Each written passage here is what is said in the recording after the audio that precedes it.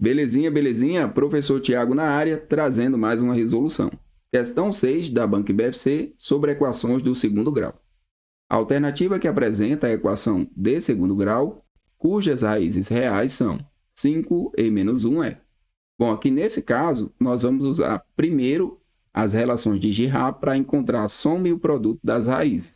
Então, ó, x1 mais x2 é menos b sobre a e x1 vezes x2 c sobre a. Primeiro a gente vai encontrar aqui essa soma e esse produto, dado que eu tenho aqui, né, x1 é igual a 5, x2 é igual a menos 1. Então, vou fazer aqui a soma e o produto.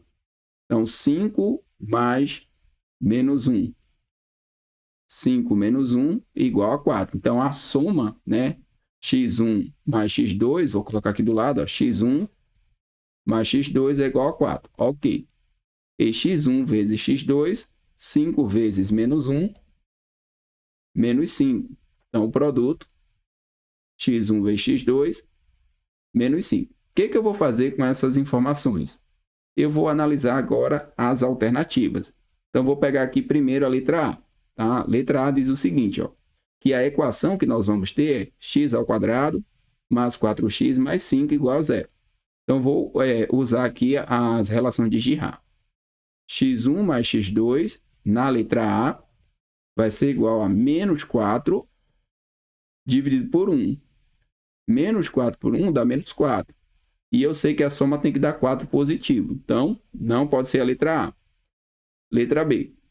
x1 mais x2 igual a menos B. Olha só. O B aqui é zero, tá? Note que aqui está ao quadrado e aqui também está ao quadrado.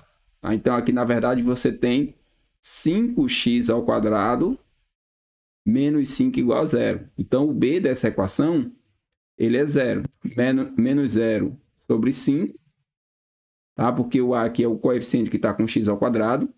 Lembrando que a equação segundo grau é ax ao quadrado mais bx mais c igual a zero.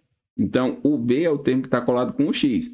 Como aqui ambos estão com x ao quadrado, então os dois você vai somar, vai dar 5x ao quadrado e não tem o b, o b é zero. Então, esse aqui é igual a zero, não pode ser.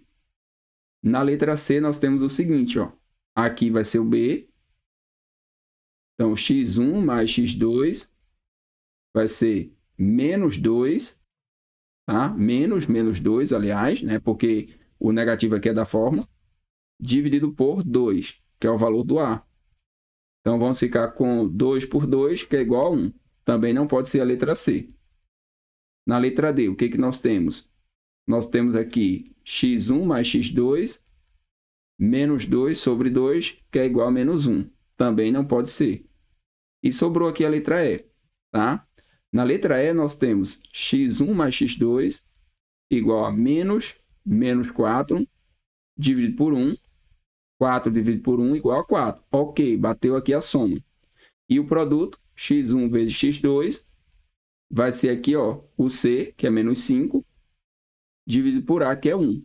Menos 5 dividido por 1, menos 5. Então, o gabarito aqui vai ser a letra E, sem sombra de dúvidas. Podemos marcar e seguir para a próxima.